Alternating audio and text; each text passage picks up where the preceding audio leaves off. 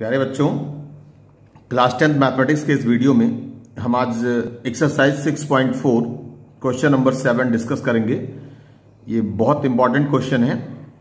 Prove that area of an equilateral triangle described on one side of a square is equal to half the area of the equilateral triangle described on one of its diagonal तो अब इसमें हम दो equilateral triangle बनाएँगे।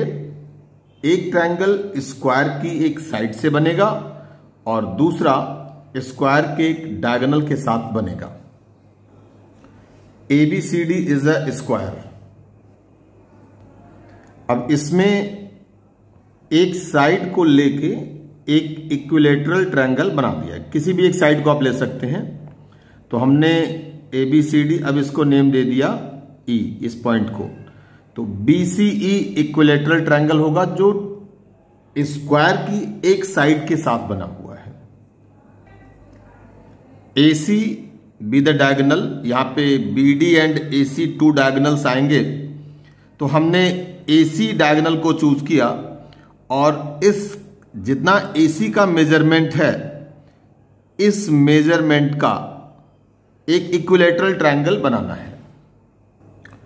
यहाँ पे दो triangle, दो इक्विलेटरल ट्रायंगल दिखाई दे रहे हैं B C E and A C F ये डायगोनल के साथ बना हुआ और एक इसकी साइड के साथ में। तो हमारे पास एक ट्रायंगल फाइनली ये आया, जिसको हम सेट कर दे रहे हैं। इसमें हमको प्रूव करना है कि इस ट्रायंगल की एरिया इस ट्रायंगल की एरिया का हाफ़ होगा। Means area of BCE equal to half of area of ACF. Now, we know that all equilateral triangles are similar. ये फैक्ट है all equilateral triangles are similar. It means it means triangle BCF similar to triangle ACF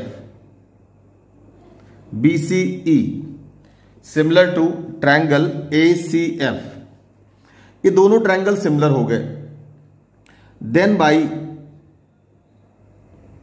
areas theorem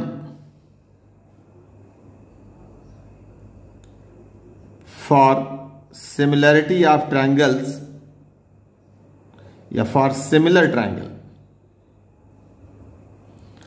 directly लिख सकते हैं area areas theorem for similar triangle ये theorem 6.6 इसका statement आप लोग देख लेंगे एनसीईआरटी में थ्योरम 6.6 अब इसका यूज़ करेंगे। तो अब वो थ्योरम क्या कहता है कि area of BCE upon area of A C F is equal to theorem का स्टेटमेंट है the ratio of areas of two similar triangles is equal to the square of the ratio of their corresponding sides तो BCE में, अब यहाँ पर हम इसके corresponding side यानी बीसी लेते हैं, और इस ट्राइंगल में करस्पॉन्डिंग इसका ए सी हो जाएगा तो B C by A C whole square ऐसे ही A F by BE whole square C F by CE whole square लेकिन इसकी कोई ज़रूरत नहीं, इसलिए हम उसको नहीं लेते, वो सब इक्वल टू लगा के आ जाएगा। इन दो में हम रिलेशन निकालते हैं area of BCE upon area of A C F BCE upon area of A C F is equal to B C as it is रहेगा और ए सी डायगनल है। We know that diagonal of square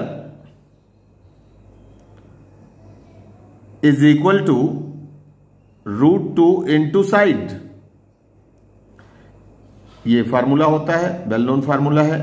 Diagonal of square is equal to root two into side this means root two into अब figure में आप देख सकते हैं कि बीसी डीसी एडी बी इस सारी साइड इक्वल होंगी क्योंकि स्क्वायर की साइड है। तो हम यहाँ पर साइड की प्लेस पर बीसी लिख रहे हैं। It means A C diagonal of square means क्या हुआ? A C A C is equal to root two B C means A C can be written as under root two B C whole square B C cancel out this gives area of B C E upon area of A C F is equal to one by root two whole square This gives area of BCE upon area of ACF is equal to 1 by 2. This gives area of BCE is equal to 1 by 2 area of ACF. Hence proved. यही prove करना था area of BCE is equal to one by two area of ACF. Video pause करके इसका solution note कर लेंगे। ये important question की category में आता है।